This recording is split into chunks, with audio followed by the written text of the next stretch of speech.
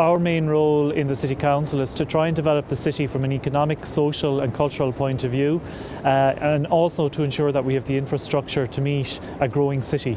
Galway City has its roots in a medieval Ireland and over the years it's meant an awful lot of different things to different people.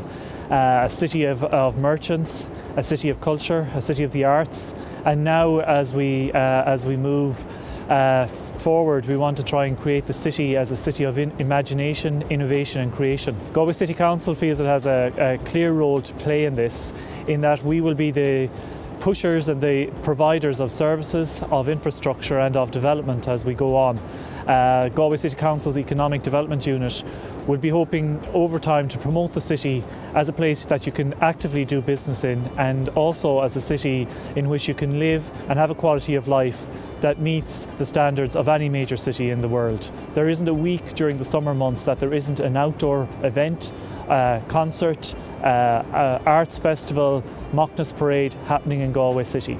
That combined with an active Christmas market and festivals happening throughout the year at a local level, at a community level and indeed at a schools level means there is always something happening in the city to ensure that the quality of life is second to none. I'm Liam Hanrahan from the Economic Development Unit in Galway City Council. Welcome to Galway.